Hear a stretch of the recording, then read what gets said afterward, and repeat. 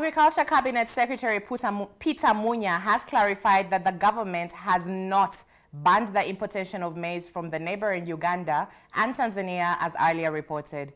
According to the CS, Kenya only blocked maize from the two East African countries that did not meet the sanitary and phytosanitary standards.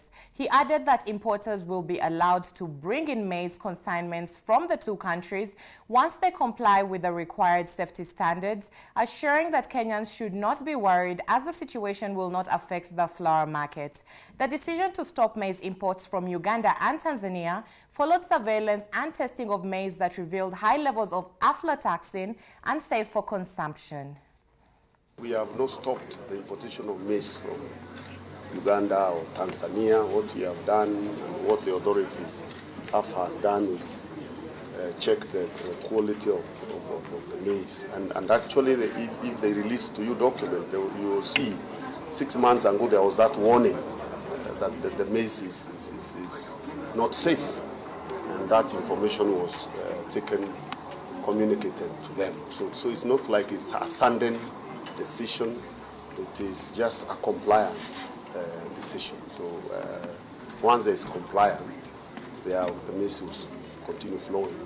So we don't think there will be an, an impact uh, as big as the one you are envisioning because we are only enforcing standards. So if somebody dries the maize, aflatoxin levels goes down, they'll be able to bring, uh, continue with the trade.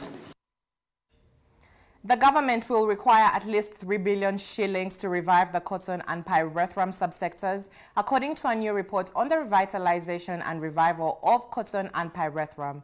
According to the report, cotton will require investments of about 1.9 billion shillings, while pyrethrum will require 1.1 billion shillings. And as Vincent Odhiambo reports, the government has pledged to enforce a law that requires the packaging of potatoes to be in bags not exceeding 50 kilograms. The government is making a fresh attempt to revive Kenya's cotton and pyrethrum subsectors. Kenya, which was the global leading exporters of pyrethrum in the 1970s, has seen the sector crumble on the back of mismanagement and corruption in the 1990s. According to the National Steering Committee on the Revitalization and Revival of Cotton and Pyrethrum Subsectors, the government will require at least 3 billion Kenyan shillings to revitalize the two agro subsectors. We are talking of, I think for cotton, we are talking of about 1.9 billion shillings, pyrethrum 1.1 billion shillings. And then we get a team that can make sure that every one of those shillings gets into the process of reviving the crops.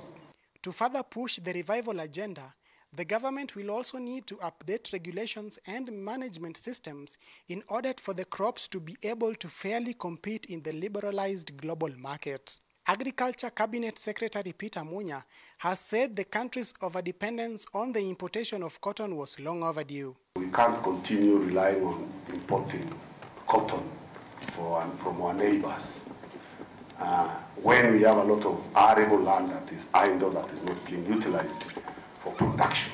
So even as we expand our industries and even as we absorb whatever cotton we can get from elsewhere, we still have to make sure that we also become a major grower of both cotton and pyrethrum. In an effort to revive cotton, in November last year, after successful trials, the government authorized the cultivation of genetically modified BT cotton whose seeds are able to resist the African bollworm. Meanwhile, Irish potato farmers around the country have a reason to smile following the government's pledge to enforce regulations that make it illegal to package potato in bags exceeding 50 kilograms that were unsuccessfully challenged in court by a section of traders.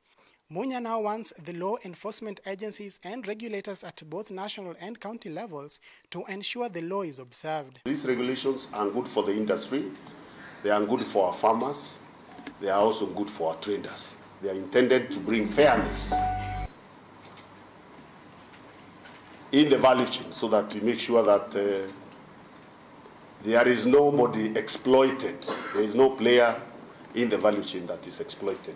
The agriculture CS further kept up his war on individuals and entities he termed as illegal cartels and profiteers who have exploited farmers, warning that more crops like tea might go down if immediate action is not taken. You take over a sector, you have just been given a mandate by the farmers to manage a sector for them.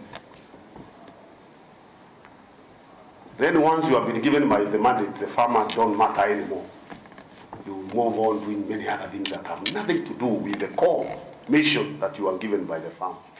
In the meantime, all eyes are set to turn to the Ministry of Agriculture as it takes one more push to revive the cotton and pyrethrum subsectors.